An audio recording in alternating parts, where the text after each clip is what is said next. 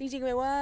ทั้งหมดน่าจะเหมือนแบบเราไม่ commit กับช็อตที่เราจะเล่นมากกว่าค่ะแล้วก็ผลมันก็เลยออกมาไม่ดีด้วย แต่พอแบบบางช็อตที่เราเริ่มแบบเอ้ยเราจะ commit แล้วอย่างเงี้ยผลก็ออกมาดีอืมอืมมีอะไรที่รู้สึกว่าต้องกลับไปแก้ไขปรับปรุงไงบ้างครับ ก็คงเป็น tee shot อะค่ะ ก็แค่ work on ทีช็อตอย่างเดียวก็น่าจะโอเคอะอืม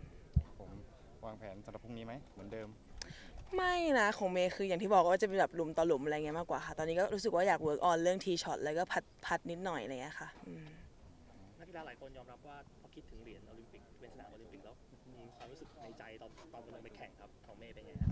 จริงๆเมย์ว่าเมย์ไม่ค่อยมีนะคะ เมย์รู้สึกว่าเมย์ก็เล่นไปตามเกมของเมย์อะไรเงี้ยจริงๆอยากได้เหรียญมากแหละอยากทำให้แบบคนไทยมีความสุขอยากเอาเหรียญกลับไปให้เมืองไทย แต่ว่าตอนที่เราลงไปเล่นเมย์ก็รู้สึกว่าเล่นทำหน้าที่ของเราให้ดีที่สุด แล้วก็ผลผลมันคงออกมาดีถ้าเกิดเราทำของสิ่งที่เราต้องทำให้ดีที่สุดอะ